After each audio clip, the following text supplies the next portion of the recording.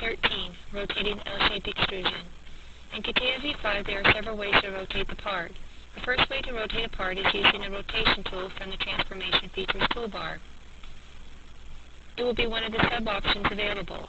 To use this command, you will need to select the object to be rotated and specify an axis of rotation and the degree the object is to be rotated. The following step will show this. Select the rotation tool from the Transformation Features toolbar. The Rotate Definition window will now appear on your screen. The first option in the window is the axis specification box. CATIA V5 will only accept a straight line to define the axis of rotation.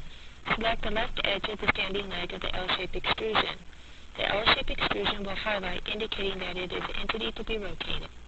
Now all that is required is an angle entered in the angle box to tell CATIA V5 how many degrees to rotate the part. Now enter 45 degrees and then select the OK button. The part now has been rotated 45 degrees around the line that was selected as the axis. The rotate dot 1 will now appear on your specification tree. If you need to modify this angle, double-click rotate dot 1 in the specification tree.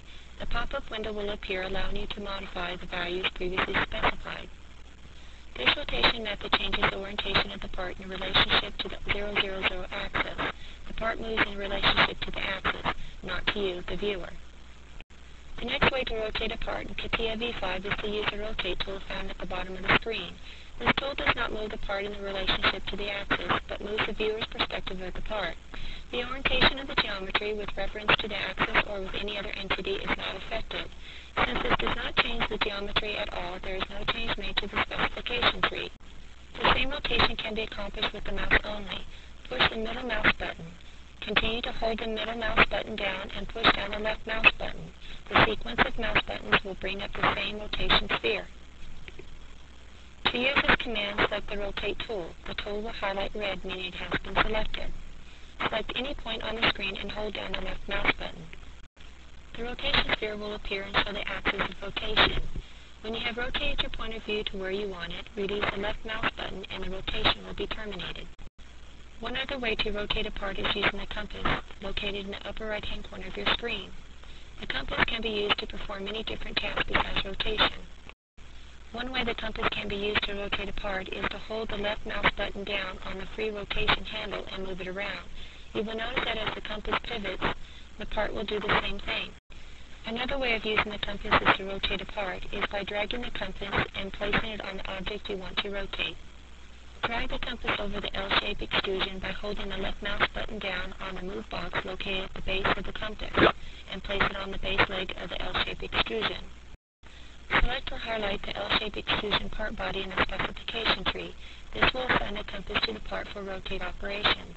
The compass will turn green if it wasn't already. Once the compass is green, any rotations and or translations you make will move the part in relationship to the 000 axis. The right mouse button with it on the compass. Select Edit at the bottom of the window. This will bring up the compass manipulation window. The first option is Position. This refers to the position of the compass with reference to the 000 point. Remember the 000 is where the XY, YZ, and ZX planes intersect in the center of the screen. The values that show in these windows reflect the current location of the part. Enter a 0 in the X, Y, and Z windows for the coordinates, and a 0 in the Rotate X, Rotate Y, and Rotate Z windows for the angles. Then select the Apply New Position button. This will move and rotate the compass in the part to the 000 location as specified. You may receive a move warning stating that some sketches are based on reference planes, sketch.1. Do you want to make them free? You will need to choose OK for the move to take place. This rotation method changes the orientation of the part in relationship to the 0, 0 axis.